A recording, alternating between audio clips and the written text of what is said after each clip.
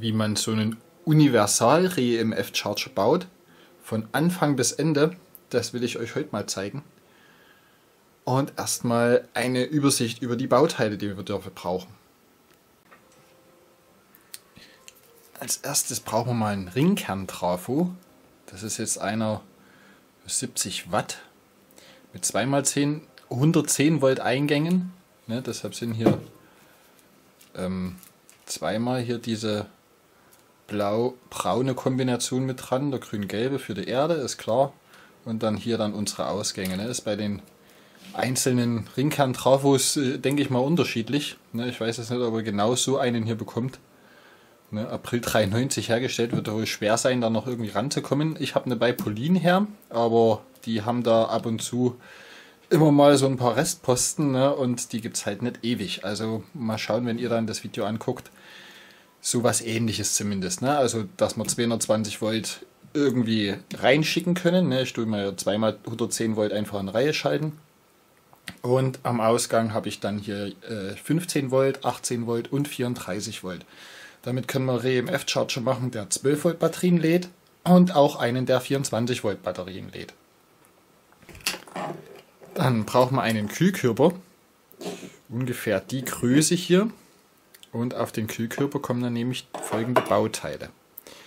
Einmal hier so ein Brückengleichrichter für, ja, ich glaube 200 Volt und 15 Ampere reicht aus. Wir wollen ja nur unsere maximal 34 Volt gleichrichten, aber ein paar Ampere sollte schon aushalten. Der bringt bei, ich glaube 15 Volt um die 4-5 Ampere.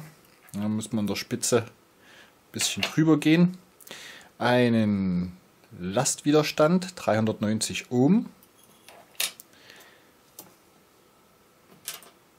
Sechs etwas stärkere Dioden, die man auch mit auf den Gleichrichter, äh, auf den Kühlkörper mit drauf machen kann. Das hier sind jetzt welche ziemlich schnelle Dioden. Ist hier auch wichtig, weil äh, die Dioden richten ja unsere Ströme vom Schultief sozusagen gleich und da sind Frequenzen eventuell, ich habe es noch nicht so richtig gemessen, aber ich denke mal so jenseits der 50 Kilohertz drauf. Und da braucht man dann Dioden, die damit ordentlich handeln können. Ne? Ich nehme mal noch einen stinknormalen Transistor. Das ist jetzt hier ein BUV48A Transistor. Atze hat neulich gezeigt, dass das auch wunderbar mit einem IGBT geht. Habe jetzt leider keinen funktionierenden mehr da, sonst hätte ich es mal probiert, aber nehme erstmal die Version von den Dingern, die man überall ausbauen kann. Ne? Und Transistoren sind, denke ich, noch überall mit drin. Alten Verstärkern und so. Ja, also die Bauteile, die dürfte man halbwegs überall finden. Selbst die Shotkeys sind, glaube ich, in, also ähnliche Dinger, in Schaltnetzteilen verbaut, die äh, PCs betreiben. Ne? Die normalen PC-Netzteile. So, dass wir dann auch unseren, zwischen unseren Spannungen hin und her schalten können, habe ich da so einen Stufenschalter. Werde ich damit einbauen. Und dass wir das von unserem Gleichrichter auch ein bisschen geglättet bekommen. Ja, also zumindest so tun, als ob. Ich habe hier nur 1000 Mikrofarad 63 Volt Kondis da. Dann nehme ich zwei parallel. Ich denke, das dürfte reichen. So vom Gefühl her. Mal schauen, wie es dann aussieht. Habe die Version, wie gesagt, noch nicht vorher gebaut. Das ist jetzt voll live alles. So, und äh, gekühlt werden muss das Ganze auch. Und für die Kühlung nehme ich einen extra kleinen Trafo. Ja, ist vielleicht ein bisschen umständlich, aber ihr werdet sehen, warum das dann für mich noch wichtig wird. Ne? Weil das Ding soll ja dann auch erst angehen, ne, der Trafo, wenn der Lüfter eingeschalten ist. Ne? Wenn der Lüfter nicht läuft, ist da die Wahrscheinlichkeit hoch, dass da irgendwas durchraucht aber dazu später. So, und dann halt unser allseits bekannter Joule Teeth. Hier äh, etwas längliche Version. und bei den Drähten hier, da könnt ihr auch eigentlich nur einen Draht nehmen. Ne, bis 0,75er Querschnitt ist bis 16 Ampere gehen da irgendwie durch. Also das reicht vollkommen und als Trigger eben einen kleinen dünnen, das ist 030er, wahrscheinlich auch schon überdimensioniert. Aber den hatte ich so fertig noch da gehabt. Ich werde die zwei dann auch zusammennehmen. Ne? Dann hat dieses, das, das Zweidreh, das sind eigentlich keinen großen Effekt mehr, sieht aber lustig aus. Und ja, auf den Querschnitt komme ich dann auch halbwegs für die Amperes, die dann hier fließen sollen. Was haben wir noch da drin verbaut? Ja, jetzt kommt hier drüben die ganze Kategorie dazu. Aber das ganze Zeug hier ist dann eigentlich mehr oder weniger die Ansteuerung, dass es angeht und dass es gekühlt wird. Das ist jetzt hier, ach, ich sehe gleich wieder, ah, Fingernägelzeit. Fingernägelzeit mal wieder. Ja, bevor irgendjemand meckert, doch meckert noch mal kurz, aber ah, jetzt schneide ich sie mir. Okay. Ja, die altbekannten Teile für einen Bedini-Lüfter. Ich habe ja jetzt einen Hans im Glück Bedini dafür genommen. Ne? Also ein normaler Lüftermotor umgewickelt mit 0,2x0,15er oder nee, 1x0,10er und 1x0,15er, so rum. Also furzdünne Drähte mit 72 Windungen pro Stator und hier die Anschlüsse rausgehen lassen. In normaler, ne, nur mit zwei Drähten parallel gewickelt. Ja, soll ja Luft machen, deshalb Hans im Glück. Ne? Und äh, den Ausgang werde ich dann dafür nehmen, ähm, das Relais hier anzusteuern. Ja, und das Relais schaltet uns dann den Trafo ein oder zu besser gesagt, ne, dass wir dann unseren REMF-Charger mit reinnehmen können und das verhindert dann nämlich, dass das Ding äh, losgeht, bevor der Lüfter losgeht. Also erst wenn der Lüfter dreht und das Relais dann hier schaltet, dann geht das ganze Zeugs. Ja, und andersrum kann man es dann eigentlich genauso wieder anhalten. Ne? Wenn man es ausschalten will, müsste man einfach nur den Lüfter hier anhalten. Aber zum normalen Ausschalten tun wir trotzdem noch einen richtigen Ausschalter mit ranbasteln. Ja, dann der Eintaster zum Andrehen von dem Bedini. Ich glaube, ein paar Widerstände brauche ich dann noch mit dazu. Neon-Klimmlampe, ähm, Ultra Fast 4004er Diode und 4007er Diode für ein Bedini ein kleiner Pufferkondensator für den Ausgang vom Bedini und hier ein kleiner Pufferkondensator für den Netztrafo, der uns von 220 Volt 12 Volt macht, damit der kleine Bedini hier anlaufen kann. Ach ja, und da gehört auch noch die Gleichrichterbrücke dazu. Das ist eine normale Vier-Wege-Gleichrichterbrücke. Ne? Da Müsst ihr mal gucken, was er für eine findet. Das ist einem für 380 Volt äh, bis 8 Ampere. Ne, 2 Ampere völlig überdimensioniert hier für das, was wir brauchen, aber schön klein und handlich.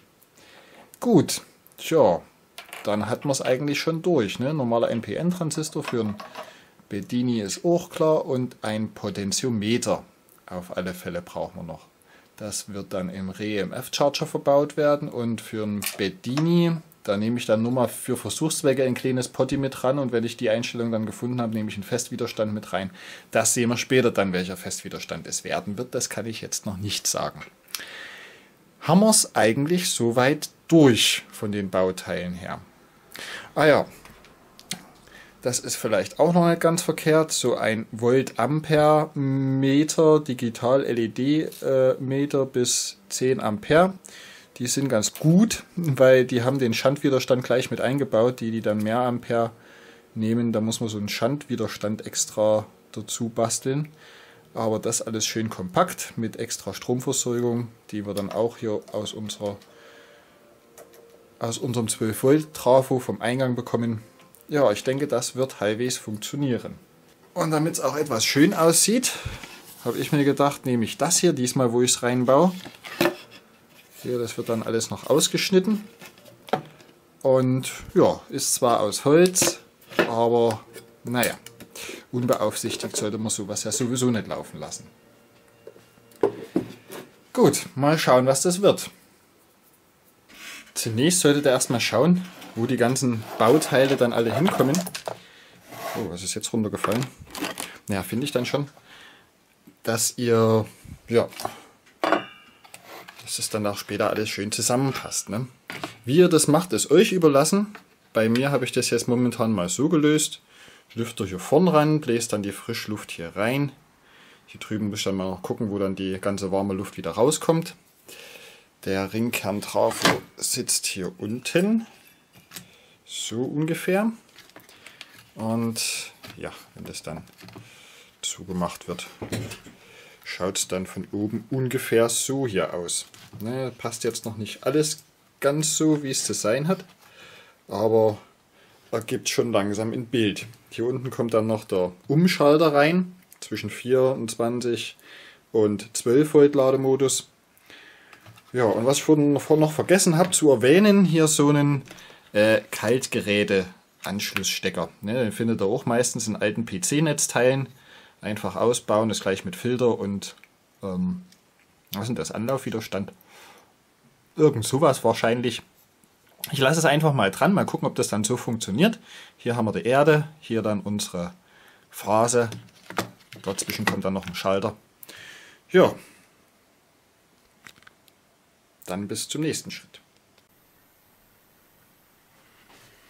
Zunächst die Anschlüsse vom Schalter an den Stecker löten. Ja, einer ist jetzt schon dran, einen habe ich schon rangelötet. Jetzt Nummer 2.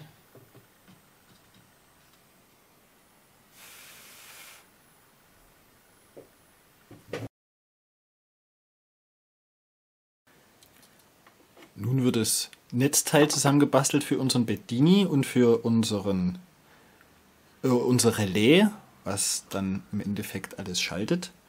Ja, dazu erstmal hier den Brückengleichrichter an die Ausgangsseite mit der Wechselstromseite, ne, ist klar.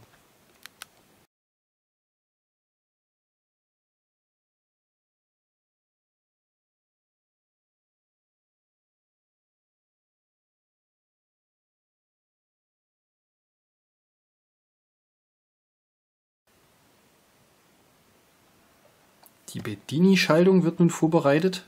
Ja, stinknormale Bedini-Schaltung für einen Hans im Glücklüfter.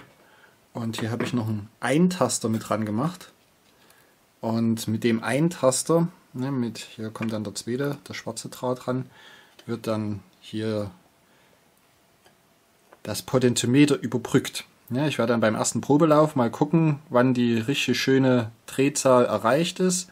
Werde dann hier die Potti-Einstellung lassen und zum Andrehen äh, muss man ja immer Potti ganz runterschalten. Das ist ja dann nervig, immer Potti runter. Deshalb hier dann mal kurz einen Knopf drücken. Dieses Potti überbrückt. Man kann andrehen, anpusten und dann müsste das laufen. So müsste das gehen.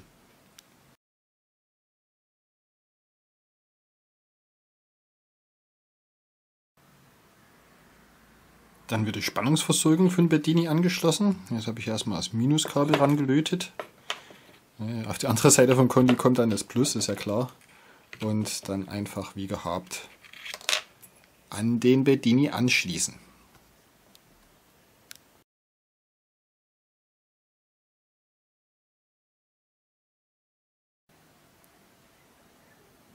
Nun wird der Ausgang vom Bedini auf den 6,3 3300 Mikrofarad Kondensator gelötet. Das Relais wird jetzt an den Kondensator angeschlossen.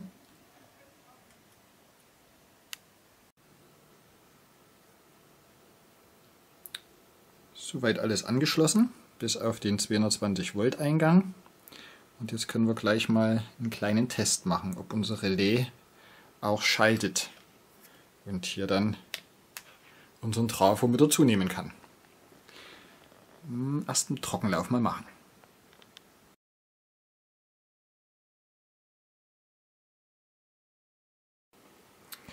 Mal schauen, ob die automatische Einschaltung funktioniert. Also hier drücken, dann Lüfter anpusten, loslassen. Es klickt auf 0 um Durchgang. Relais hat geschalten. Wunderbar. Ja, ich musste hier den Punkt erst ein bisschen einstellen. Hat nicht sofort geschalten. Erst wenn ich das Body ein bisschen höher gedreht habe, ist jetzt hier um 10 Kiloohm Potentiometer reingekommen. Hier das kleine Ding da, ne? Ja, aber die automatische Anschaltung funktioniert. Mal gucken, ob es auch wieder ausgeht, wenn wir den Lüfter anhalten. Ja, gut, dann ist es wieder aus. Super, können wir weitermachen. An unsere 12 Volt Versorgung. Ja, ich habe vorhin mal gemessen, im Leerlauf haut es den bis auf 21 Volt hinauf, diesen kleinen 16 Volt Kondi. Ist nicht ganz so gesund, aber wir haben ja trotzdem Dauerbelastung durch unser Panel hier oben. Ja, das schließen wir jetzt auch gleich mit hier dran an, ne? Plus und Minus. Und Kabel lang genug machen, damit es dann auch dahin reicht. Auch das geht jetzt wunderbar. Hier allerdings musste ich eine kleine Änderung machen. Ja, müsst ihr aufpassen bei solchen Panels. Ich hatte nämlich noch so einen Anschluss hier rumkullern gehabt und der hat von der Länge her wunderbar gepasst, habe ihn angeschlossen und das hat nicht funktioniert. Ja, aus dem Grund, das ist doch nicht genormt, also aufpassen, wo hier Plus und Minus ist, wenn ihr da irgendwelche Extrakabel habt. Ja, kleiner Erfahrungsbericht. Nachdem die Lüfterseite und die Ampermeter-Seite sozusagen jetzt funktioniert, können wir die ganzen Kabel ein bisschen schön legen. Ne? Und ich habe alles mit Heißleim zugekleckst hier. Wie ihr das macht, ist euch überlassen, aber bei den Sachen hier wird nichts heiß und vielleicht gar nicht mal so schlecht gegen irgendwelche Feuchtigkeit oder sonst irgendwas. Mache ich dann hier vorne auch noch drauf. Ja.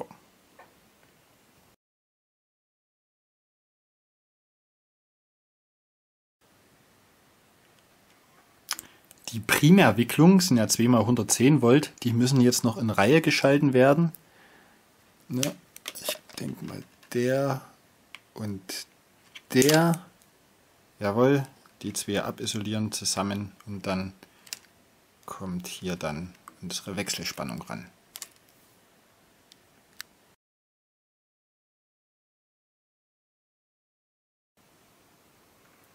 Zur Sicherheit nochmal überprüfen, ob es auch wirklich die Wicklungen sind.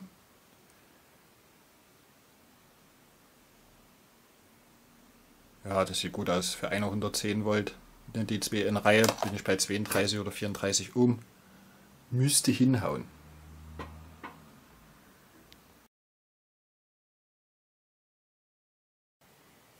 Ich entscheide mich jetzt einfach mal dafür, zuerst den grün-gelben anzuschließen, also grün-gelb an grün-gelb. Und dabei ist mir aufgefallen, machen wir das mal wie bei der richtigen Bedini-Schaltung. Da tun wir mal den Minus von der Bedini-Schaltung, der bei mir hier jetzt rauslunzt, auch nochmal erden. Jetzt ziehe ich hier praktisch nochmal so ein Erdkabel rüber auf den Minus vom Bedini-Eingang. Hm,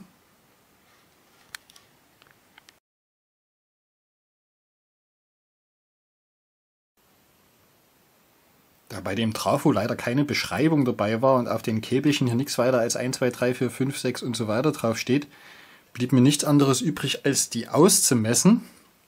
Und dabei ist mir aufgefallen, die haben gar nicht alle einen gemeinsamen Null, sondern sind zwei getrennte Wicklungen sozusagen. Die eine Wicklung bringt 34 Volt und die andere Wicklung ist äh, einmal getrennt, bringt einmal 15 Volt und 18 Volt. Und für meinen Stufenschalter, der hat nur eins, zwei, ja, drei Einstellungen kann er machen. Und dafür ist es nötig, dass ich mir den Null von allen drei Spannungen gemeinsam sofort auf meinen Brücken, äh, Brückengleichrichter drauflege.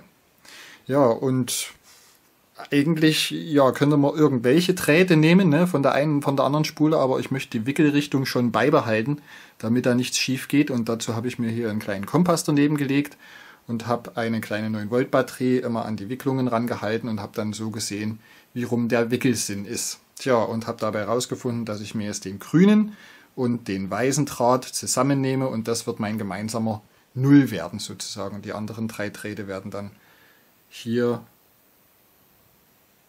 am Stufenschalter angeschlossen.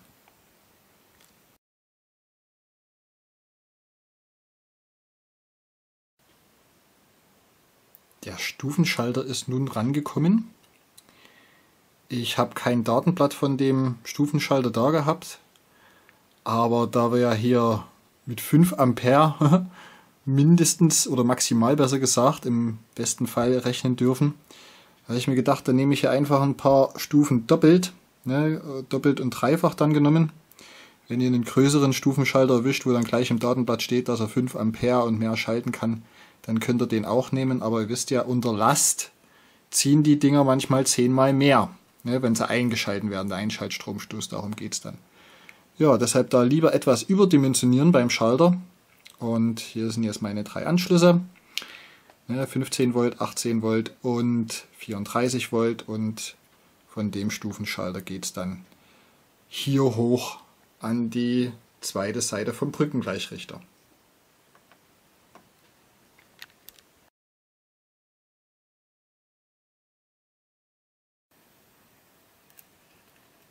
Unser Pufferkondensator ist jetzt 63 Volt, 2x1000 Mikrofarad parallel genommen. Ihr könnt auch gleich einen nehmen, der so um die 2000, 3000, 4000 μ hat. Aber mindestens 50, 60 Volt müsst ihr halt schon aushalten. Mal gucken, wie der sich jetzt hier macht. Ich schätze mal, der könnte etwas unterdimensioniert sein. Vielleicht ist das aber auch nur ein ganz blödes Gefühl. Vielleicht ist er total überdimensioniert. Ich meine, bei 34 Volt kriegen wir gerade mal 2 Ampere raus. Also wird schon klappen. Ja, den jetzt jedenfalls an den Gleichrichter. Ne? Hier Plus, da Minus. Dürfte klar sein.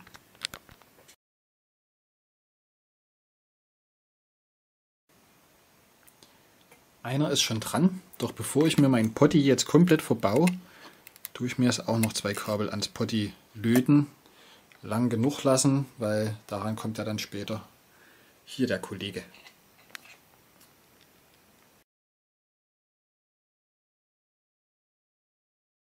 Schön nach alter Manier das mittlere und das äußere zusammenlöten, damit im Notfall trotzdem das komplette Potti mit drin ist. Und ja, auf der anderen Seite ein einzelnes. Okay, geht weiter. Dann setzen wir gleich unseren Notvorwiderstand ein. Hier 360, äh, 390 Ohm. Hier an das Beinchen vom Transistor. Und die andere Seite vom Widerstand mit der einen Seite vom Potti verbinden.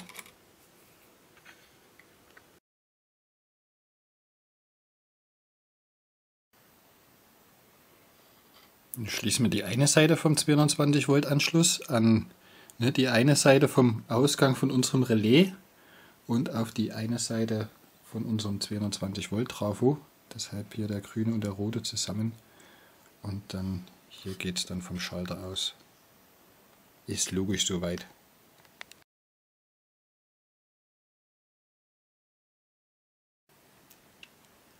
So, und dann die andere Seite von unserem Relais hier auf die Eingangsseite von der Primärseite.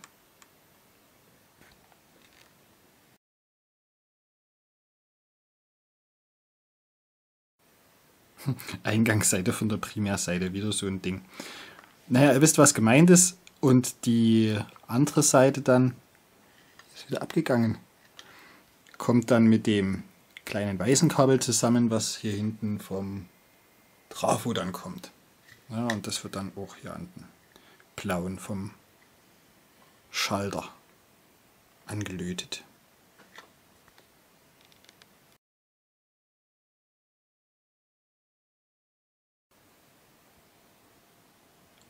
So schaut es da jetzt aus. Können wir uns an die Dioden hier machen. Die werden jetzt alle verschalten.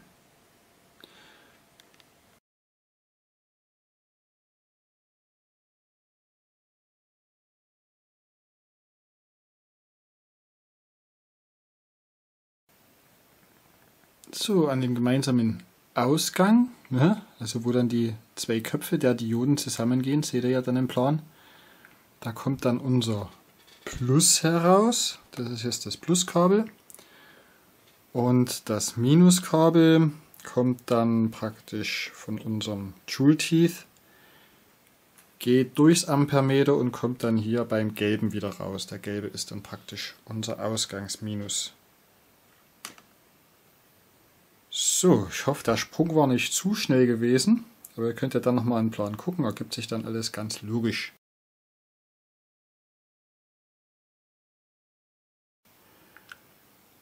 So, jetzt geht es weiter mit dem Joule Teeth.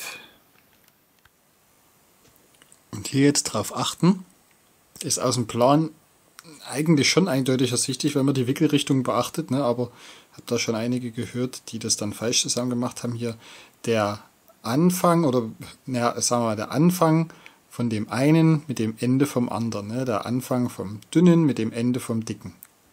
Sozusagen, je nachdem, wo ihr dann Anfang und Ende definiert habt. Das dann hier zusammen, dann haben wir hier drei von denen.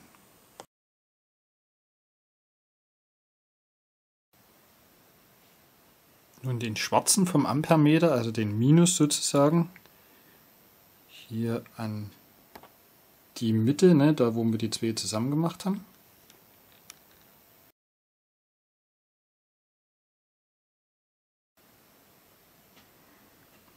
Das andere schwarze Kabel, was da vom Potti noch übrig war, das kommt jetzt an das dünne Käbelchen. Einen dünnen Draht.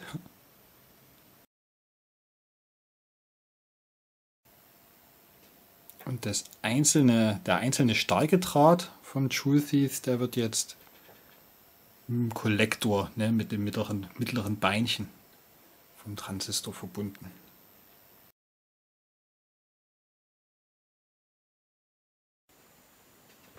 Gleich dürften wir es geschafft haben. Jetzt noch fix den Minus hier auf den Pin anklemmen und den Plus hier von da, wo die zwei Dioden zusammen, zusammen sind. Da kommt dann der Plus drauf.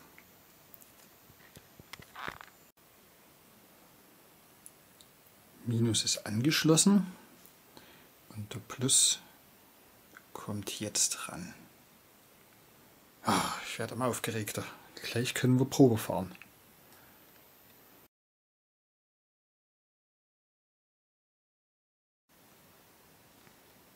Halt, stopp.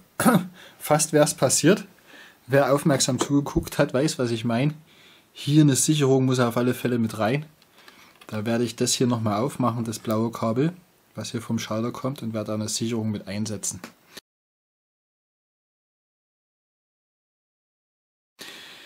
Der bringt zwar nur 70 Watt, aber wir wissen ja, Einschaltstromstoß, bla bla blub. Hier haben wir in, in Relais, was 3 Ampere schafft. Ja, da sind wir schon ganz gut dabei bei 3 Ampere, sondern 600, 700 Watt ungefähr. Und ich habe hier jetzt eine flinke 4 Ampere Sicherung, die müsste ausreichen für den Kurzschlussfall.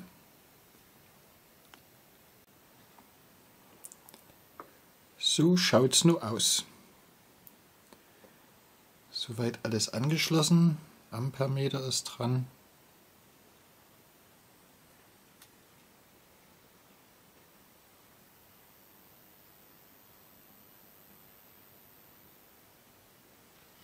Dann. Bin ich mal gespannt. Ja, das geht auch so, wie es gehen soll. Ob ich neugierig bin. Mal schauen, ob das funktioniert.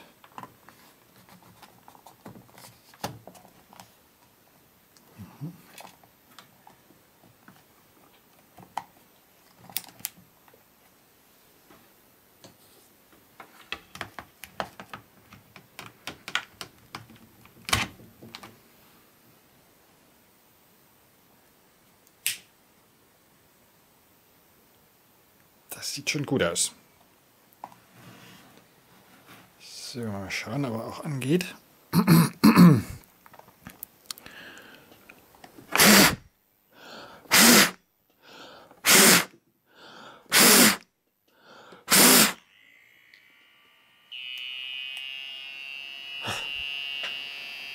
Sehr schön. Ist angegangen. 55 Volt.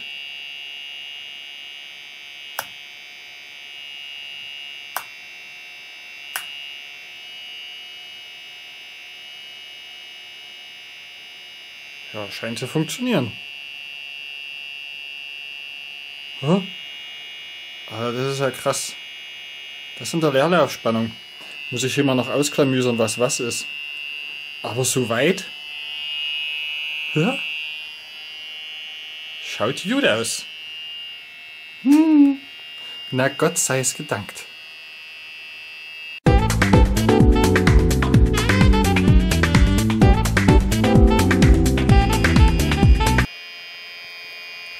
Da, es rennt, wie es rennen soll.